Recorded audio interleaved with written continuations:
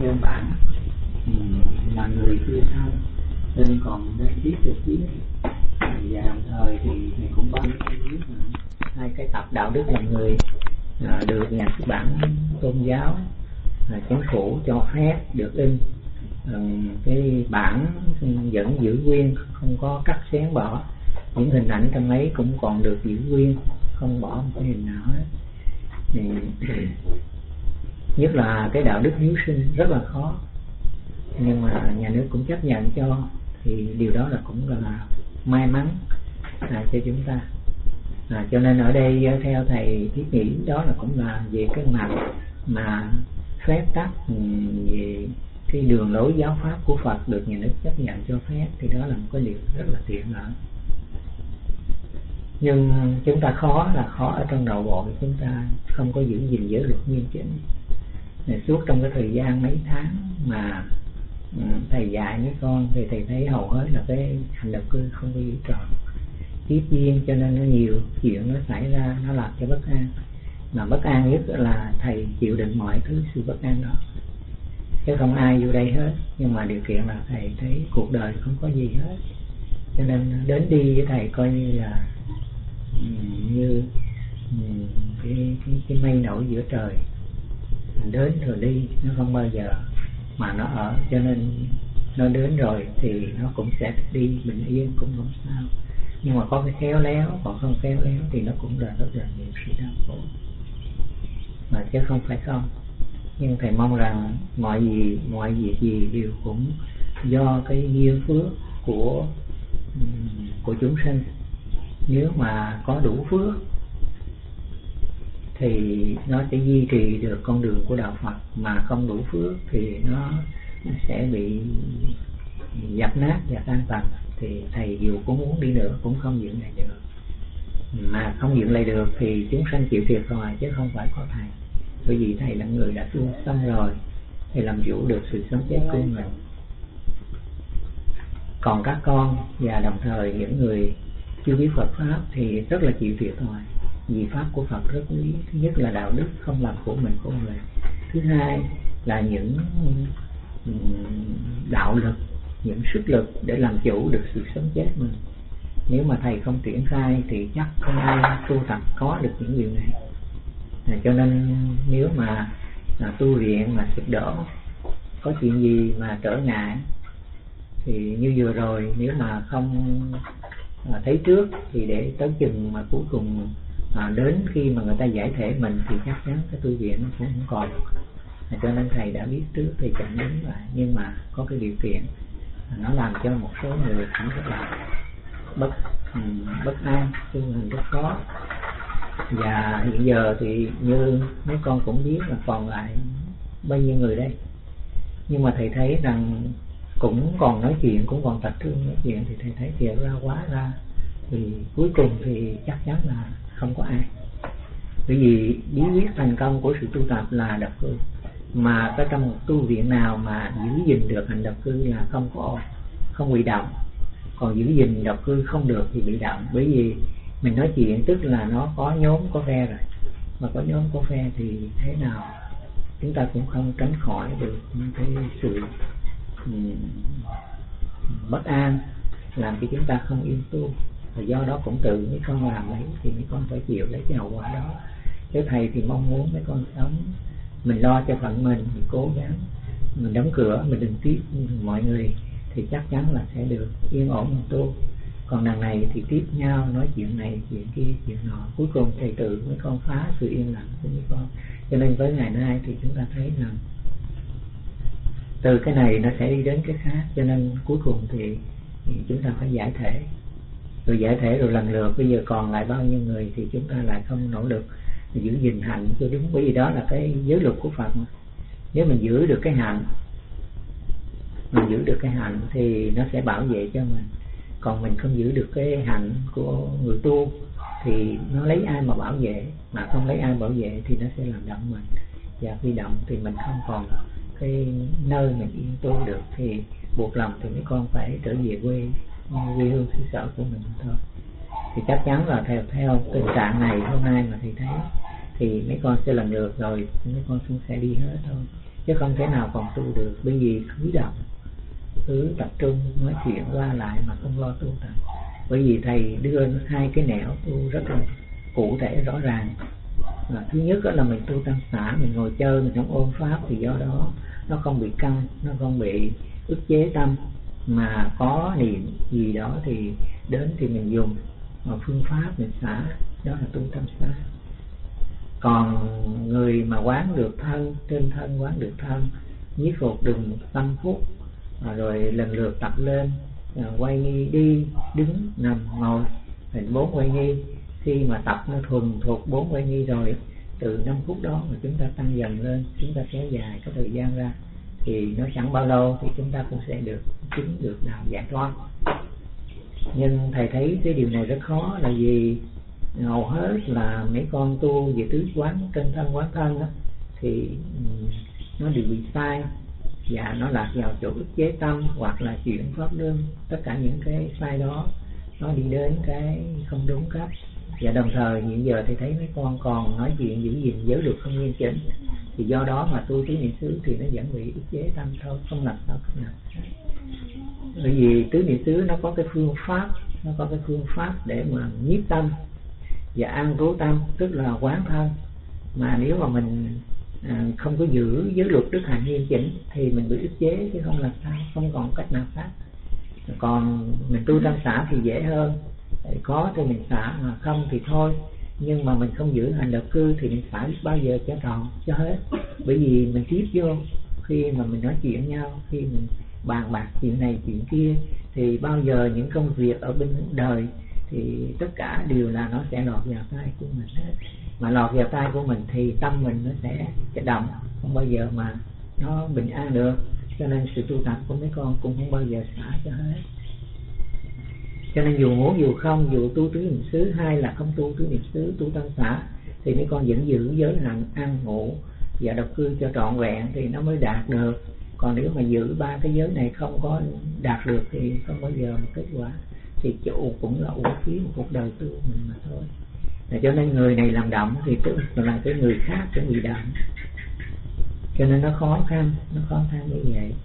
Vì vậy mà thầy mong rằng trong cái sự tu tập Ừ, trong cái sự tu tập của mấy con mà nếu mà còn tình trạng này thì chắc chắn là mấy con mọi người cũng phải trở về quê quê hương xứ sở của mình hết chứ không có ở đây được nữa. Bởi vì tu như vậy là chẳng có kết quả gì. Ừ, cho nên à, cho nên thầy nói uh, tất cả những cái sự việc mà uh, nó um, tu tập thì tu tập cho đúng còn nếu mà tu tập không đúng thì lần lượt rồi mấy con cũng ở đây cũng mất công mà thôi cho nên theo thầy thiết nghĩ thì, còn lại bên nam là trong khi giải thể lại có một vài thầy thầy vừa rồi mà lại đi chơi. Mà bây giờ giải thể rồi đâu còn tu tập gì nữa. Thôi đi chơi. Trong thay vì trên cái giờ tu thì lại không tu mà lại không giữ gìn giới. Còn ở lại đây để đi chơi vòng vòng đến nhà người này đến nhà người kia. Thậm chí như đi ra khỏi cái dòng tu viện để mà đi đến nhà hàng xóm chơi nữa rồi thế thôi bây giờ vậy thì còn cái gì nữa mà ở đây làm gì nữa? Các con thấy bên nam như vậy. Thì do đó thì còn cái gì nữa? Bởi vì à, mặc dù là bây giờ là còn lại một ít người khoảng 30 người hơn 30 người. Ba mươi sáu ba mươi bảy người. Mà à, không có giữ gìn à, không có giữ gìn. Thì mấy con nghĩ sao? Lại là bây giờ được giải thể nữa lại là ừ, đi chơi ừ, đến chỗ này nói chuyện đến chỗ kia nói chuyện hoặc gọi điện thoại à, tứ tung minh tà thì như vậy thì con thấy như thế nào. Cho nên cuối cùng thì thầy thấy cái tu viện này chỉ còn có đóng cửa thôi chứ còn cách nào khác nữa. Đó, đó là những cái hiện tượng mà xảy ra. Còn ít người mà như vậy thì đông người thì um, làm sao? Cho nên tất cả những cái này đều là um, thầy mong rằng Ờ, chờ đợi ít hôm để rồi xây dựng cái nơi nào đó yên ổn. Thì lúc bây giờ mà muốn cho cái người nào mà vào tu chắc cũng phải chọn lựa, chứ còn chọn lựa mà cái người mà nói chuyện như vậy thì đâu có làm sao được nhất đó ừ. đó, thì hôm nay thầy à, nói để biết rằng trong cái hoàn cảnh của tu viện chúng ta bên ngoài thì nó có nhiều cái điều kiện nó xảy đến cho chúng ta. Mà bên trong thì nội bộ của mình nó lại có một sự mà Ừ, không tốt có nhiều ờ, phe nhóm chia ra, mặc dù còn ít nhưng mà vẫn còn có những cái điều kiện đó. Cho nên thầy không muốn thấy cái điều kiện đó nữa. Và chắc có lẽ là thầy sẽ ờ, không có, thầy sẽ đi lo công việc, chứ giờ thầy đâu có còn ở đây nữa. Thì cho nên ừ, các con có tu tập thì chắc chắn là các con cũng ở đây với cô út mà thôi, chứ còn đối với thầy thì thầy phải đi lo công việc của thầy thôi. Hoặc là thầy phải ra Hà Nội vì chú Tuấn thầy có sự yêu cầu để thầy ra thầy cố vấn trên cái vấn đề à, xin phép tắt ừ, hoặc là tiến tới trong cái vấn đề mà xây dựng cái khu ở ngoài Hà Nội.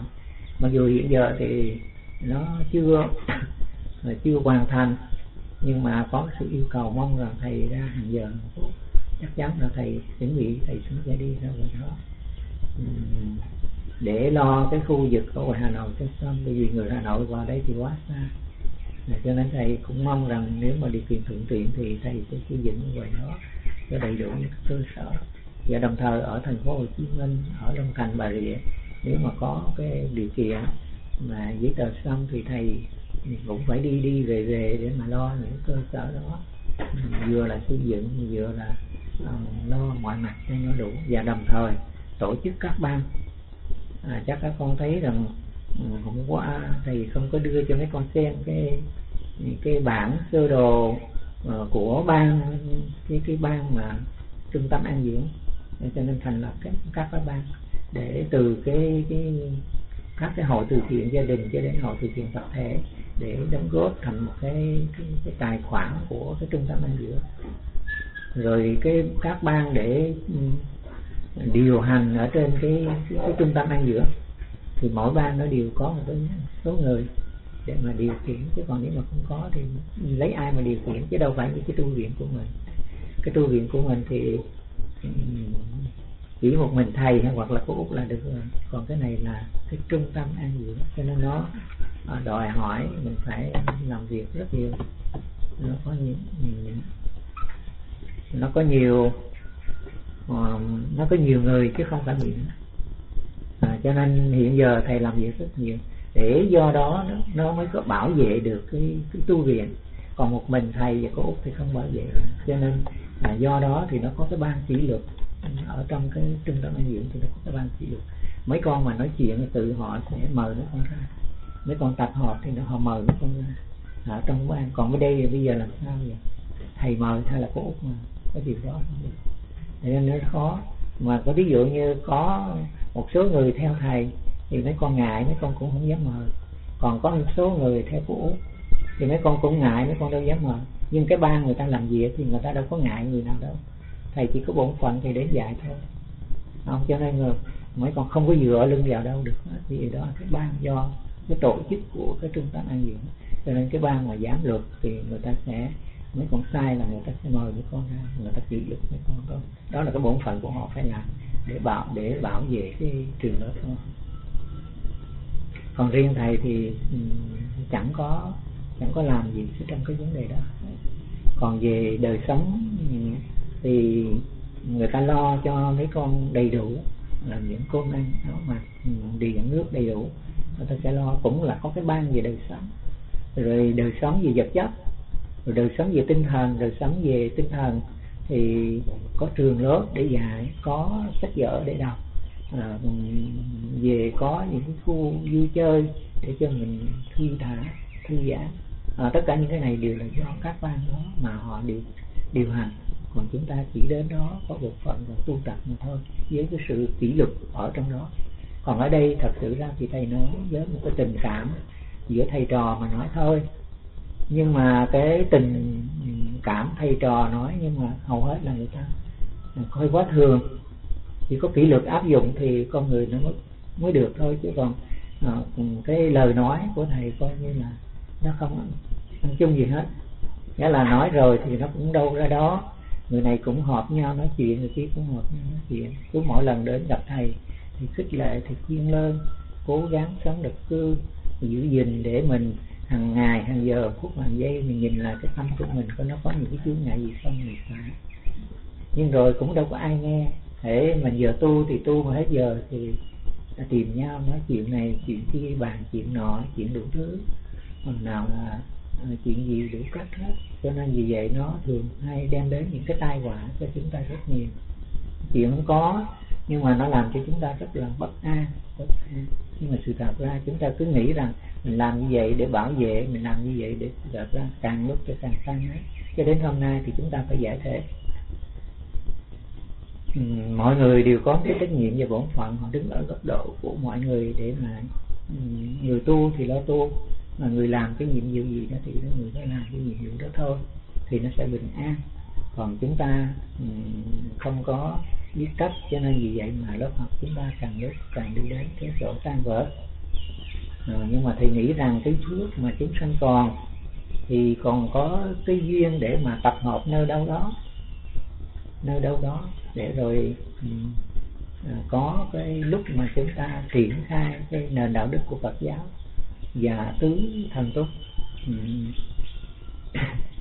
bốn cái phương pháp ừ, nội lực để làm chủ sự sống chết của chúng ta chúng ta có thể triển khai trở lại được nhưng mà ở tu viện chân như thì hiện giờ thì không thể được nữa rồi. Coi như ở đây thì không thể được.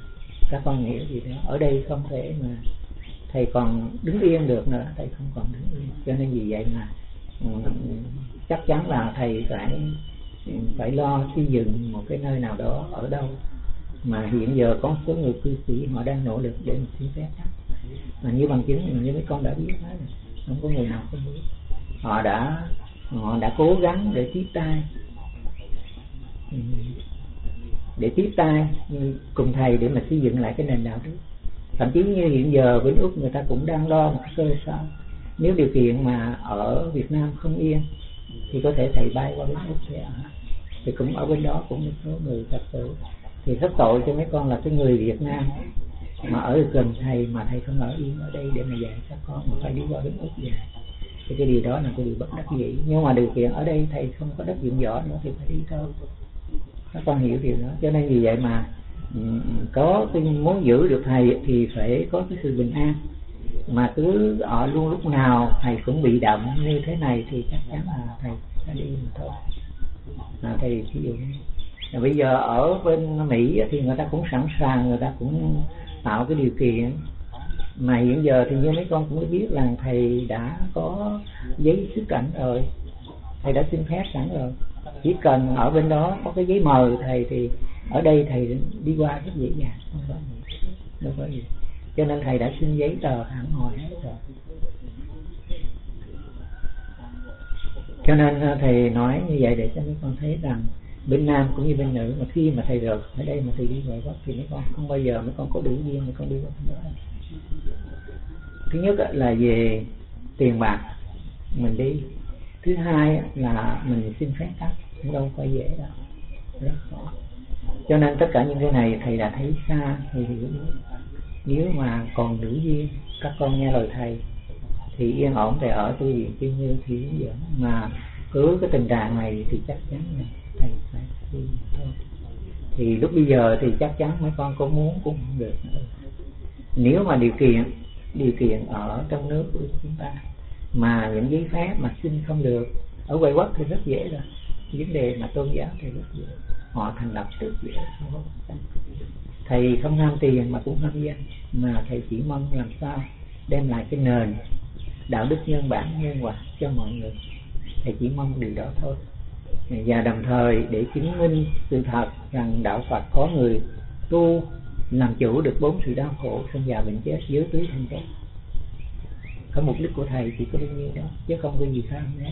Thì dù thầy có đi ra nước ngoài bất cứ đâu đâu, thì cái mục đích đó vẫn thầy sẽ cố gắng, thầy truyền đạt lại những gì của đạo Phật để làm cho người ta sống đạo đức, để làm cho người ta sống, người ta làm chủ được sự sinh già chết thì trong nước mấy con chỉ là những người, những con người mà được theo thầy mà chính mấy con đã tự phá hoại nó thì cho nên con sẽ chịu thiệt thòi nữa à, bây giờ mấy con về à, gia đình của mấy con sống thì mấy con cũng chỉ một cái tầm thường thôi chứ cũng không đi đến đâu á thì bà sao mấy con cũng nếu mà không có thầy thì chắc chắn mấy con không đi tới đâu á? nghĩa là mấy con cũng xả được một ít tâm rồi cũng nhiếp tâm được an trú được nhưng mà tới nữa thì chắc chắn mấy con không tới. Như vừa rồi kiểm điểm lại tất cả những sự tu tập của mấy con nó đều sai mà buộc lòng thầy phải cho ra hai tập giấy hai tập sách mỏng để cho mấy con thấy tu tập của mấy con không đúng. Để biết rằng ờ, để biết rằng con đường của đạo Phật nó không phải khó mà cũng không phải dễ, nhưng mà phải có người hướng dẫn, có kinh nghiệm hướng dẫn để cho mình tập đúng, bởi vì mọi người có một cái đặc tướng khác nhau. Mà nếu mà không có người hướng dẫn thì mình sẽ tu sai, không đúng.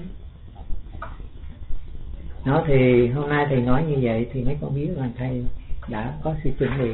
Và đồng thời thì ở trên mạng thì ở bên úc có người ta đã gửi thư qua người ta xin mời thầy về bên đó.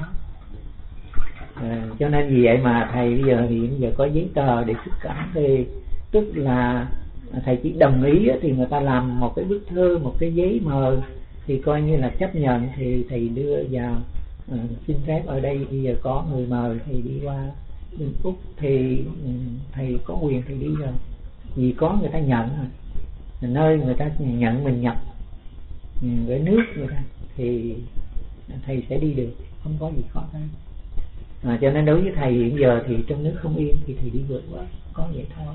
Thầy không phải ham tiền ham bạc ham danh vì ở trong nước dựng lại cái nền đạo đức của Phật giáo. Cho dân tộc cái quy này không được thì mình ra đó mình duy trì được cái gì của Phật giáo được phần nào tốt nữa đó là cái cái cái, cái thiệt thòi của mấy con thôi. Là tại mấy con đến đây mấy con không nghe lời thầy mấy con tập trung đến chuyện nhiều rồi xảy ra chuyện này chuyện khác. Ừ, làm cho nó không có yên không có yên thầy yên. Cho nên thầy ở đây mà làm gì nó càng thêm những cái chuyện càng đau khổ hơn. Càng đau khổ à, mấy con biết rằng thầy cố gắng để mà xin phép từng cái bộ sách của thầy viết để cho đạt được, nó cũng không phải là dễ. Nó còn đòi hỏi mình phải cố gắng lắm, nó mới được, chứ không phải là ừ, khi không mà người ta chứng cho mình đâu. Mình phải xin hãng hoài đàng hoàng và mình phải có những sự thuyết phục người ta. Nhưng từ lâu tới giờ người ta có hiểu đâu. Ví dụ như bây giờ người nói về đạo đức hiếu sinh, cái lòng thương yêu sự sống của muôn loài, thì trong đó khi đó người ta triển khai về phải đào ao nuôi cá này rồi người ta phải triển khai là những cái trại chăn nuôi này gà vịt heo dê này để làm giàu cho đất nước. Và trong khi đó thầy bảo thương yêu đừng có giết hại chúng sanh. Thì những cái ngành nghề mà nuôi dưỡng là nuôi cá nuôi tôm hoặc là à, nuôi heo nuôi gà vịt heo dê thì người ta phải đình lại hết. Vì có ai phải ăn thịt nó nữa đâu. Là cho nên cái phát triển về cái sự làm giàu cho đất nước bằng cái ngành chăn nuôi chăn nuôi thì không còn nữa thì như vậy mà mình đi xin phép cái điều này thì nhà nước có chấp nhận, người ta đang triển khai cái điều đó mà. Mà thế mà người ta chấp nhận, người ta cho cũng là, mình thấy cũng là hết sức, chứ không phải là dễ. Ít ra mình cũng phải thuyết phục được cái điều điều đó. Mà cho nên trong cái vấn đề mà hiện giờ mà chúng ta được những cái bộ sách có giấy phép ở ngoài, được phổ biến mà không ai ờ, gây ra mình, không ai bắt tội mình được, thì do đó nó cũng không phải là chuyện dễ. Mà chúng ta vượt qua từng bước mà chúng ta đạt được những kết quả. Một kết quả tốt đẹp là không bỏ một cái câu không bỏ một chữ nào hết. Ừ, như vậy là chúng ta quá là hoàn thành được. Thế mà trong khi tu tập thì các con lại không tu là hoàn thành. Cái lại không có thực hiện được. Nay thì tập hợp nói chuyện này mai tập hợp nói chuyện kia làm cho tu viện lúc nào cũng sáng đọc thì thử hỏi rồi thầy ừ, ở đây thầy dạy làm gì nữa? đúng không nếu mà cái trung tâm an dưỡng từ thiện ở Hà Nội không xin phép được hoặc là ở thành phố Hồ Chí Minh quý Phật tử không xin phép được tu viện chân như thì đóng cửa à, không còn dạy nữa. Mà có dạy nữa con làm cái gì được? Bây giờ dạy có dạy làm gì được? Khi mấy con luôn luôn tập trung là làm chuyện này chuyện khác nay có chuyện này mai có chuyện khác lúc nào nó cũng có chuyện động hết thì họ thử hỏi thầy có yên ổn đâu mà ngồi đó để mà um, sử dụng cái ừ, cái đầu óc của mình để mà soạn thảo những cái chương trình giáo dục để mà dạy đạo đức dạy ừ, pháp những con tu bởi vì lúc nào cũng bị động thì tự hỏi mai là thầy là người tu chính chứ cả một người mà tu chưa xong thì cái đầu óc mà nó bị động như vậy thì mới con biết họ làm cái gì được vậy đây luôn luôn lúc nào họ cũng không bình an họ cứ lo đối phó và do đó làm sao họ nghĩ ra được những điều gì mà họ viết thành cái giáo trình, giáo án để hướng dẫn cho mấy con tu tập. Thì đương nhiên là họ không thể làm được rồi. Nó có cái sự bình an, người ta mới tư duy ở phải là dạy như thế này, cái bài đầu đến cái bài cuối như thế nào người ta sẽ tư duy, người ta đầu tư bằng cái đầu óc người ta vào đó, người ta mới, người ta mới viết ra cái giáo trình cho mình học à. Ừ, chứ còn nếu không thì mình biết đâu mà học ta mà bây giờ không được yên thì thôi. Thì mình nghĩ chứ làm sao? Không lý mà thầy là con người ừ, bằng xương, bằng thịt chứ đâu phải bằng sắt đá. Mọi mắt thấy tai nghe đều biết hết. Những tâm lý, tình cảm cũng đều hiểu hết. Đâu phải là cây đá trơ trơ, nó biết hết nhưng nó chỉ nhờ có cái lực ở trong tâm của nó mà nó không bị dao động thôi. Chứ nó nghe nó biết hiểu hết. Nó hiểu tất cả. Nó biết sai biết đúng chỗ nào đúng chỗ nào sai hết. Nhưng nó không nói thôi. Nó biết là nói cũng không lợi ích gì. Và còn làm thêm rắc rối thôi mà thôi. À, cho nên vì vậy mà hôm nay mấy con còn đủ những cái ngày mà gặp lại thầy những cái ngày mà coi như là ừ, không còn bao lâu thì mấy con cố gắng mà giữ cho tròn giữ cho tròn những cái đức hạnh. À, mai ra nó còn duy trì được một chút còn nếu không thì chắc chắn là thì sẽ không tròn. Vì từ bữa mà thầy tuyên bố cho mọi người ra về thì trước khi mà mọi người khăn gói người um, sách hành lý lên xe đi thì cái tình thầy trò là nhiều khi nó cũng rất thấm thía sau những ngày tháng gần gũi với nhau để mình truyền đạt những cái điều hay lẽ phải cho nhau. Mà bây giờ dục ừ, cái chương trình học nó chưa có hoàn chỉnh, mà lại cắt gói ra đi, thì mấy con thấy là con người đâu phải cắt đá đâu phải không thương những người đệ tử của mình. Thương lắm chứ, nhưng biết còn sao hơn nó phải chịu chia tay mà thôi. Thì mấy con hiểu được cái điều này lắm chứ. Mấy con thấy những người bạn đồng ở chung trong cái khu vực của mình hôm nay nhìn thấy ngôi nhà vắng bóng, mình cũng thấy nao nao trong lòng chứ. Đâu có phải sung sướng gì lắm sao? Các con hiểu. Con người mà, đâu phải phát lái nhìn cái thất khi bữa đó có cô nào đó đang ở, bữa nay là vắng. Nhớ cái hình dáng của cô ờ, ngồi đó mà làm bài, hoặc đi kinh hành, hoặc ngồi thiền. Hôm nay vắng vẻ, không còn thấy nữa. Thì tự hỏi lần chúng ta đâu phải sắt đá mà không nhớ bạn mình à, cho nên tất cả những cái điều này đều là à, chúng ta không kỹ lưỡng từng ngay lúc đầu. Và cho nên ừ, giờ phút này chúng ta phải chịu những cảnh chia ly như vậy. Rồi giữa tình thầy tình trò mà khi chia ly thì chúng ta cũng thấy nao nao trong lòng lắm. Biết chừng nào có đủ cái duyên mình gặp lại. Phật tử thành phố hồ chí minh xin thầy ừ, cố gắng giữ gìn những quý thầy quý cô Dạ rồi chúng con, sẽ cố gắng tìm cách chúng con tạo cho được để quý thầy, quý cô trở về tu học để rất tội nghiệp người ta quyết tâm tu. Đó là một cái người phật tử ở ngoài đời thôi. Người ta bôn ba sự đời thôi người ta nghĩ đến cái nỗi tu tập của mình mà nó dở dang, người ta còn ờ, kêu gọi, người còn tha thiết. Huống hồ là mình là những người tu ở trong tu viện mà mình không đau lòng sao? Khi mình giải thể mình rất đau lòng lắm chứ chứ đâu phải là không. Cho nên mình nhìn trước nhìn sau, mình thấy rất buồn, cái tu viện ngày nào đông đảo. Bây giờ dán trước dán sau. Rồi đây, rồi không còn một bóng người. Người đây sẽ không còn một bóng người. Rồi chúng ta, mọi người, mọi nơi, nếu có đủ duyên thì chúng ta còn tập hợp lại. Mà nếu không đủ duyên thì chúng ta biết tập hợp ở đâu đâu đâu phải dễ, không phải dễ.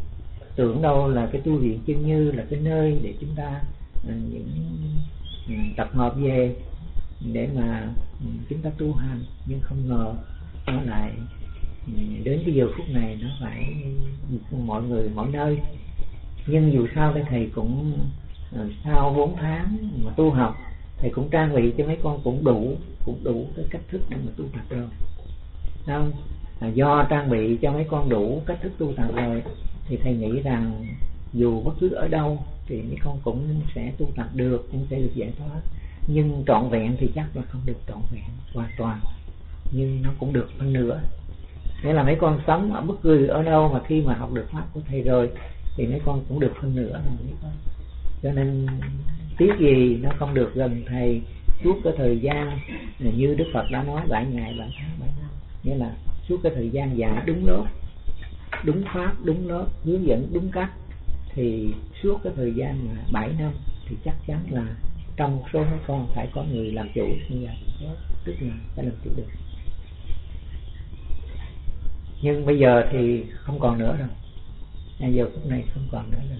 Bởi vì ừ, chúng ta không làm cách nào khác hơn vì chúng ta biết ngừa.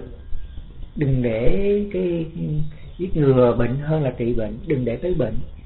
Cho nên thầy ngừa trước hết. Cho nên nó không có cái gì mà xảy ra nhưng ung nhọt nó sẽ ung nhọt nữa con cái ung nhọt nó sẽ là còn ung nhọt, nó chưa phải là cho nên từ đây về sau chúng ta cố gắng cố gắng đừng có để cái ung nhọt đó nó phát triển lớn mà nó phát triển lớn ra thì nó sẽ thành một cái bệnh nặng, đau khổ nhiều. Mặc dù hiện giờ chúng ta còn ít, nhưng cái ung nhọt đó nó cũng vẫn còn, chứ nó chưa thấy rồi mình phải giải quyết như thế nào để cho cái ung nhọt nó sẽ bị diệt đi thì nó hay quá còn nếu mà mình không khéo không giải quyết được thì ung nhọt nó sẽ lở lét nó thành một cái cái cái bệnh ghẻ quá nặng. Nó rất là đau khổ. Thầy mong rằng là đừng có xảy ra những cái chuyện gì nữa. Mà nếu có xảy ra những chuyện gì nữa thì à, chắc chắn là cái điều kiện mà các con biết rằng thầy có nơi có chốn hết rồi. Là như thầy có một cái cơ sở bên úc mà các phật tử bên đó người ta đã lo rồi. Người ta đã kêu thầy năm rồi rồi tâm mời thầy quá nhiêu rồi. Nhưng mà thầy không có không có đi đâu. Thầy nói hoàn toàn là ở tu viện tiên như còn có thể um, xây dựng được còn có thể là nơi tu tập được không có đến đâu mà phải bỏ. Chứ cái sự việc ở ở trong đất nước ở tu viện của mình xảy ra như thế nào thì phật tử ở ngoại quốc người ta biết hết. Không có cái gì mà người ta không biết đâu. Cho nên người ta đã chuẩn bị cho thầy. Người ta rất mến thầy người ta thương thầy người ta muốn cho thầy được cái chỗ bình an để cho thầy hướng dẫn cho mọi người tu thôi chứ người ta cũng không mong muốn gì hơn nhưng mà thầy thì rất thương mấy con mà thầy cũng nỡ bỏ một thân. chứ còn sự thật ra mà thầy muốn đi hồi nào thì quá dễ rồi, không có khó khăn. Thầy à, báo cho mấy con biết rằng con đường của thầy nó dễ, con đường của thầy nó rất thương tha và cái cuối cùng mà thầy ra đi mà để mà vào nước bàn thì rất là tiện lợi nhất thì chẳng đi đâu hết. Thầy chỉ cần tình chỉ hơi thở thì vào niết bàn thì an ổn nhất không còn ai động được thầy gì nữa. Thì vào đó thì không còn ai mà mà thầy cũng không còn cực khổ nữa. Đối với thầy đó là cái nhiệm vụ mà đã xong. À, như Phật đã 80 tuổi rồi thì Phật cũng tịch. À, thầy 80 tuổi rồi thầy tịch cũng vừa rồi đâu còn gì đó. à, đối với thầy thì với Phật thì thầy thấy rằng Đức Phật đã tu chứng mà tới 80 tuổi. Còn thầy Đức Phật cũng khổ hạnh còn thầy cũng trải qua những năm tháng ăn rau sống thì cũng khổ hạnh ghê gớm lắm chứ. Cho nên thầy Đức Phật tịch 80 thì thầy tịch 80 cũng được. Nhưng vì không có người tu chứng, cho nên thầy cố gắng. Và là đạo đức chưa dựng lại tròn vẹn. Cho nên thầy kéo mà thuê cái tuổi già của thầy thêm để mà mong để dựng lại những cái nền đạo đức của Phật giáo cho nó xong. Và nhất là cái giáo trình tu học tám cái lớp của đạo Phật Bát Chánh Đạo. Nhưng mà nếu mà đủ duyên thì mình dựng mà không đủ duyên thôi chứ sao? Do đó đây là à, để cho cái người sau cái người nào mà đủ duyên hơn đủ phước hơn thì họ lại dựng lại cũng như 2550 năm mà đến cái thời của thầy thầy dựng lại cái chánh pháp của Phật. Thì sau đó 3.000 năm hay là uh, 5.000 năm ừ, sau nữa thì có người họ cũng dựng lại cái chánh pháp này. Bởi vì đó là cái chân lý của loài người rồi. Không thể mà nói rằng bỏ. Mà bỏ cũng đâu được bởi vì nó là chân lý cũng không phải bỏ được. Nhưng mà dựng lại được hay là không dựng lại mà thôi chứ nó sẵn sàng ở, ở trong mọi người rồi. Là cho nên vì vậy mà đến là hai ngàn à, năm trăm năm chục năm thì cách Đức Phật hai ngàn năm trăm năm chục năm thì thầy ra đời để nỗ lực thực hiện cái con đường của đạo Phật rồi dựng lại mà bây giờ mà dựng lại không được, mới nửa đường, nhưng dù sao đi nữa, những cái lời thầy dạy nó cũng đâu mất đúng không? Thì do đó thì sau này có những người kế tiếp, một ngàn năm, hai ngàn năm hay là ba ngàn năm năm ngàn năm sau thì vẫn phải có người họ sẽ ừ, thắp sáng cái ngọn đuốc này lên. Mà đối với chư Phật, đối với cái sự trung chứng của của thầy thì một ngàn năm, hai ngàn năm hay là năm ngàn năm mà dựng lại thầy thấy như là chớp mắt, nó có gì đâu mà gọi là lâu. Cũng như đối với đức phật thích ca, hiện giờ mà hai nghìn năm trăm à, năm chục năm mà thầy dựng lại cái chánh pháp của đức phật thì đối với đức phật thích ca thì ngài thấy đâu có lâu. Ngài thấy đâu có lâu. Không cái thời gian đó ngài thấy không có lâu. Còn đối với chúng ta thì thấy hai ngàn mấy trăm năm quá lâu, quá dài. Nhưng mà đối với đức phật thì không có lâu. Mà cho nên đối với thầy khi mà vào niết bàn rồi thì cũng chẳng có đâu nên đối với người sau mà một hàng, ngàn năm, hai ngàn năm sau người ta dựng lại thì cũng không có lâu đâu. Nhưng mà mấy con phải chết bao nhiêu lần? Nghĩa là cuộc đời của mấy con phải, tôi lăn ở trong lục đạo bao nhiêu lần, bao nhiêu bao nhiêu trăm lần, chứ không phải một lần. Đó là cái thiệt thòi cho con người thôi. Chứ còn đối với chư Phật, đối với thầy thì thiệt thòi hết rồi cho nên hiện giờ thì mấy con cũng nhớ rằng mấy con phải cố gắng cố gắng là tu tập. Ừ, tu tập cho được. À, thứ nhất là để đền đáp cái công ơn ừ, của Phật công ơn của thầy. Còn mấy con không nỗ lực mấy con nói chuyện thì mấy con tập trung thì tự mấy con đã hoại diệt. Và hoại diệt thì mấy con sẽ trở thành người có tội có tội với con người. Tại vì chính mấy con họp nhau nói chuyện này chuyện kia bàn bạc rồi cách này cách kia cách nọ thì đó là mấy con có tội với lòng người. Thì những cái trang sử của hôm nay, nó sẽ dập tội những cái người mà đã làm cái, mất đi cái nền đạo đức của con người thì họ sẽ ừ, cái, hiện giờ những cái phương tiện mà nó lưu giữ lại những cái tài liệu này nó có hẳn rồi, nó không mất. Và đồng thời bước vào cái trang sử của nó thì nó sẽ dập tội cho những người mà phá hoại cái tu viện này. Mấy con chạy không khỏi đâu không có người nào tránh khỏi. Nó không tha thứ người nào người nào làm cái gì gì đó, nó đều ghi chép hết trong lịch sử hết từng cái lời nói của thầy, từng cái, những cái điều kiện mà của mấy con làm, nó đều ghi chép trong lịch sử hết. Không có bao giờ nó bỏ đâu. Bởi vì đây là cái lịch sử dựng lại cái nền đạo đức cho loài người. Cho nên loài người đâu có bỏ được. Nó sẽ đem lại. Nó sẽ sẽ nói lên nói lên những cái lỗi lầm, cái tội lỗi của những người đã phá hoại cái nền đạo đức của con người mà hai ngàn mấy trăm năm ừ, đức phật thực bây giờ đến cái đời thầy dựng lại mà mấy con tự vô tình vì ích kỷ cá nhân của mình, vì bị thử mà mấy con tự họp nhau để mấy con tự phá hoại thì mấy con phải chịu lấy hậu quả đó. Và lịch sử sẽ ghi chép, mấy con không tránh khỏi. Nó biết hết, người nào nó biết hết. Nghĩa là mọi người ở đây thật sự, người nào nó cũng biết hết. Mấy con làm gì nó cũng biết hết. Ừ. Ừ. tên tuổi họ của mấy con từ cái bức thơ từ nói qua, nói lại, bàn bạc những cái gì gì để mà phá hoại cái nền đạo đức của Phật giáo mà thầy đã cố công dựng lại. Thì ừ, mấy con không tránh khỏi cái gì đó. Họ sẽ ghi hết rồi. Họ biết hết. Ở trong này, bên nữ mấy con, họ làm công chuyện của mấy nữ. Bên nam, họ sẽ làm công chuyện của bên nam. Họ ghi hết. Cho nên ví dụ như mấy con khi mà thầy giải thể, một, thầy ở đây mà đi dạo, đi chơi, họ cũng ghi là hết rồi. Nghĩa là nghĩa là đi dạo, đi chơi, đi ra ngoài sớm chơi nữa chứ không phải là ở trong tu viện đâu mấy con. Chứ không phải là nói bình thường đâu, thầy nói thật sự. Chính ở trong tu viện mình, nó có ở trong tu viện như vậy chứ có người đi ra sớm nói chuyện nữa. Người nào con thầy cũng biết hết chứ đâu phải là thầy biết. Đâu phải là thầy biết. Đi ra tâm tình với hàng xóm ở ngoài để làm gì? Đó là những cái điều mà đã nó sai cái cái cái, cái luật ở cái quy ước cái luật ở trong tư viện của chúng ta nhiều quá.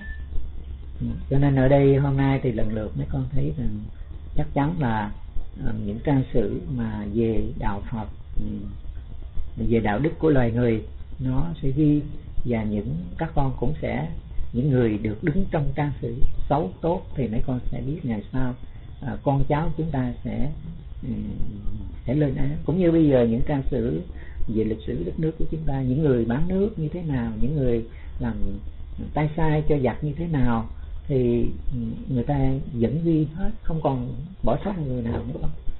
Thì hôm nay cái nền đạo đức của đạo Phật mà thì dừng lại mà nó gặp những cái khó khăn à, bằng cách những cái ừ, những con người mà à, phá hoại nó thì mấy con sẽ thấy mấy con cũng sẽ đứng tên ở trong cái trang sử của nó. Nó thuộc về trang sử của tinh thần, của đạo đức mình. Nó thuộc về tôn giáo rồi. Nó thuộc về đạo đức tinh thần. Còn cái kia là gì giải phóng quê hương đất nước, nó thuộc về bảo vệ một cái đất nước của nó thôi. Còn ở đây là cái tinh thần, cái đạo đức của nhân loại rồi. Nó sẽ bảo vệ. Vì vậy mà nó không, nước này nó giữ gìn thì nước khác nó giữ gìn cái lịch sử đó. Cũng như đức phật, không phải là một đức phật ấn độ đâu, mấy con. Đức phật nó nó ở khắp mọi mọi nơi nhưng mà cái nền đạo đức của nó nó sẽ là rộng rãi hơn tất cả mọi mọi nơi nữa. Cho nên nó không còn ừ, đứng ở trong cái vị trí của một quê hương của một đất nước nữa, mà nó rộng rãi trên hành tinh. Và cái nền đạo đức nhân bản nhân quả sống không làm của mình của người nó đem lại hạnh phúc cho loài người. Ở trên hành tinh này thì chắc chắn là con người phải được bảo vệ đó.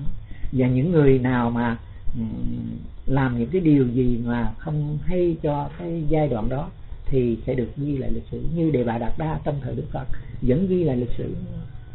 Rồi những tên người nào mà đã à, du khống đã du quan cho đức phật như thế nào thì những cái người đó họ vẫn ghi lại tên ở trong những cái bài kinh rất rõ ràng tên tuổi ở ngoài. Đâu có phải đặt gì đặt ra đâu nó là những trang sử. Ừ, thì trong cái thời thầy thì những cái gì cái mà máy móc là ghi lại và những mà bài viết của họ bằng chữ, bằng nghĩa, họ ghi lại từng tên tuổi mọi người hết, tất cả mọi cái họ đang làm một công việc ghi là lịch sử. Nhưng mấy con đâu có hiểu? Mấy con đâu có biết? Người ta đã làm công việc đó. Người ta biết rằng cái cái vấn đề mà thầy chấn chỉnh lại cái đạo đức nhân bản, dựng lại cái chánh pháp của Phật, bác chánh đạo, là người ta biết, người ta để hiểu nó là như thế nào rồi cho nên từ ngay đầu tiên họ xin thầy từng cái hình ảnh từng cái cái cái cái cái cái, cái, cái, cái, cái sự việc ở từ à, lúc nhỏ à, thầy như thế nào họ đều ghi lại để cho họ um, lập thành sau này một trang sử một trang sử đạo đức cho nhân loại. Họ đang làm công việc này. À, cho nên bây giờ họ hỏi thăm tới như thế này. Um, họ mong rằng thầy sẽ có dịp nào sẽ đi đưa họ về thăm quê ngoại của thầy. Nơi mà thầy được sanh trưởng và thầy được lớn lên và được đi học ở nơi đó, họ mong muốn rằng đó là cái nơi của thầy bắt đầu bắt đầu ra đời. Họ muốn ghi lại, coi trên cái mảnh đất đó như thế nào, ở đâu. Đó là người ta muốn ghi lại cái lịch sử. Bởi vì người ta biết cái việc làm của thầy rồi. Đó. thì bắt đầu bây giờ từ cái chỗ như hà hoàng sơn mà thầy ở tu người ta cũng muốn đi đến đó người ta ghi lại những cái nơi mà thầy đã từng ở từng sống. Ừ, chín tháng trời trên đó coi thầy ở như thế nào cái hang như thế nào cái tảng đá thầy ngồi thiền như thế nào cái cái hồ cái cái mương mà thầy trồng rau như thế nào. Mặc dù hiện giờ tuy là nó không còn nhưng mà những cái tảng đá những cái di tích đó nó vẫn còn. Nó không mất. Không ai khiêng những cái tảng đá bự bằng cái nhà hơn bằng hai ba cái nhà chúng ta thì chắc không ai khiêng nổi. Và cái tảng đá mà nó bằng phẳng như cái nền nhà ở chúng ta nó lớn hơn cái ừ, cái, ừ, à, cái thiên đường của mình ở đây cái tổ đường của mình đây. Ừ, nó rộng lớn mặt bằng phẳng mặt một tảng đá lớn như vậy. Thì chắc cái điều đó chắc không ai mà đột phá nó được chắc nó không còn. Mà cho nên những cái di tích đó nó còn lại họ mong muốn rằng có dịp về Hồ Sơn quay lại cái hình ảnh đó ghi lại những dấu tích đó của một con người bằng xương bằng thịt dám sống nơi à, đèo heo hút gió một bóng một hơn ở nơi đó một mình như vậy. Mà trong cái giai đoạn đó ít người à, vì vậy mà mấy con thấy người ta muốn ghi lại cái lịch sử là nơi à, thầy đến chỗ nào đó là họ muốn ghi lại chỗ đó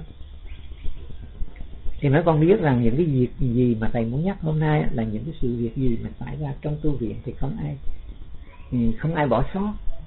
Mà ta ghi lại hết, ghi lại. Để nói lên được một cái giai đoạn chấn chỉnh Phật giáo khó khăn như thế nào, dễ dàng như thế nào, và thầy là người chịu cực khổ như thế nào, để người ta nói hết. Để sau này nhân lại, mà khi tiếp nhận được cái trang sử này họ bằng nước mắt của họ.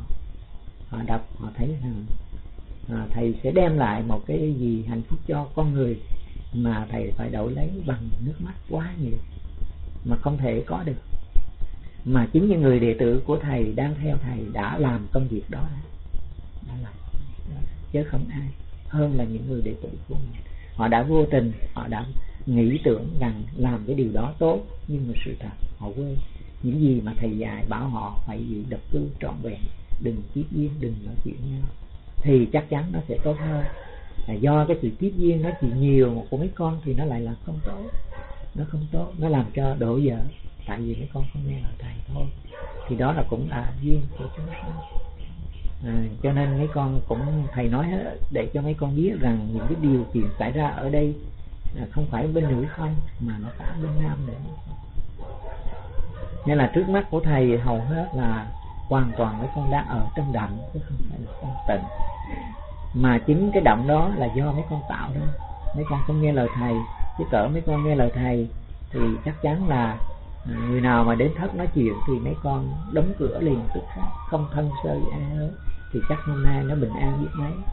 Còn này mấy con tập trung nói chuyện này đến bàn luận chuyện kia chuyện phải có chuyện trái có chuyện đúng có chuyện sai có đủ loại. Hiện giờ thì mấy con thấy cái tư tưởng của mấy con cái hiểu biết của mấy con biết cái gì đúng mà sai. Chỉ có toàn là nhân quả mà thôi. Càng tập hợp bao nhiêu thì tạo thêm nhân quả khó khăn bấy nhiêu chứ làm gì? Chứ đâu có gì lợi ích đâu. Và cho nên lần lượt mấy con thấy ừ, cái lớp của chúng ta ừ, hôm đó thì ngồi hai giải bàn thì hôm nay thì chúng ta gồm lại bao nhiêu người đây? Mà còn mai đó, rồi đây rồi mấy con sẽ lần lượt sẽ ừ, rời khỏi tu viện rồi ừ, ra đi nữa, chứ không phải là còn giữ lại như nhiêu đấy đâu. Rồi mấy con sẽ ra đi, rồi mấy con sẽ tìm cái nơi yên ổn tu hành hơn, tốt hơn. Thì tin rằng, mong rằng có những cái nơi mà yên ổn hơn đây, để rồi mấy con sẽ được yên ổn mà tu tập. Còn thầy thì chắc chắn là sẽ ừ, ở chỗ này không được thì ở chỗ khác còn cuối cùng mà nếu mà không được nữa thì thầy vào nước bàn giữa già đối với thầy cái thân tứ đại này chẳng có nghĩa lý gì đối với thầy đâu. Thầy sẽ ra đi một cách rất tự tại không có khó khăn đâu. Đối với thầy thì muốn đi hồi nào cũng được. Ví dụ như bây giờ muốn cho cái uh, thân xác của mình đừng có phiền não ai thì quá dễ đối với thầy rồi. Chỉ cần một cục đá neo thôi thì thầy đi ra biển thầy tịch thì ngay ở trên mặt nước thầy ngồi xếp bằng trên mặt nước thầy tịch rồi thì neo đá xuống biển thì cái thân của thầy chỉ làm uh, thực phẩm cho cá ăn thôi. Chứ không bao giờ nó nổi trên bờ được bởi vì cục đá đã neo nó rồi cho nên nó nằm ở dưới đáy biển rồi thì mặc tình cho loài cá mà à, tha hồ mà mà đánh tiệc. Có gì đâu thầy bố thí một, một bữa tiệc cho chúng thì có gì đâu đối với thầy thì quá bình thường. Thì như vậy người ta cũng không biết thầy thông lạc đi đâu và ở đâu nữa? Bây giờ mất tích mất rồi. Nhưng mà không ngờ thầy đã ngồi dưới đáy biển rồi để còn cái giờ phút nếu mà thầy ở trên đất bằng mà thầy tịch thì cái mã của thầy chỉ còn là một cái xài mà trồng để cho người ta có trái mà ăn. À, người sẽ ban lại những cái quả trái đó cho người khác. À, ăn những cái trái xài ngon. Còn nếu mà không đủ duyên thì thầy cũng sẽ làm mồi à, cho lại cá dưới biển nó đã đấm nó đánh tiệc một vài ngày thì cũng là ừ, nó cũng mừng rồi chứ nó đó là cũng là cái lợi ích chung thôi nó không lợi ích cho loài người thì ra nó cũng lợi ích cho loài cá. Đối với thầy thì cái chuyện đó là cái chuyện quá tầm thường dễ dàng thôi à, bây giờ thầy ra đó thầy tịch thì bắt đầu đó thì chỉ à, cần tịnh chỉ hơi thở xong. Thì sẵn đá thầy neo thì coi như là thân thể không bao giờ nổi lên trên. Ừ, đó là nói về tầm thường còn nói về cái sự dùng thành thông thì chắc chắn là thầy ngồi dưới đáy biển ngàn năm chưa có ai mà làm sao mà móc nó lên được. Đó là cái dễ dàng mà thôi. Đối với thầy cái gì bây giờ trong cuộc sống bây giờ không còn cái luật nhân quả chi phối thì được. Thầy sai xử cái thân thầy như thế nào nó làm như thế cho nên thầy dễ dàng lắm. Vậy mà thầy tiếc rằng thầy không trao được cho mấy con những cái bí quyết thành công này. Nó rất uổng, nó rất uổng cho mấy con thôi bởi vì nó cũng không khó nó không khó. Mà thầy đã nói ở trong những cái bài giảng để dạy cho mấy con tu tập rồi nhưng mà vì sợ mấy con chưa biết mà mấy con um, tu tập sai thôi. Chứ còn còn có thầy mà hướng dẫn thì chắc không đến được sai có gì thầy sửa lại thì mới sai à, đến đây hôm nay thì mấy con đã hiểu biết hết rồi. Thì mấy con còn hỏi gì thầy không con? Rồi lần lượt người nào thấy tu nó không yên thì mấy con cứ về. À, chứ còn ở đây thì chắc cũng không có thầy cũng không có dạy gì. Nên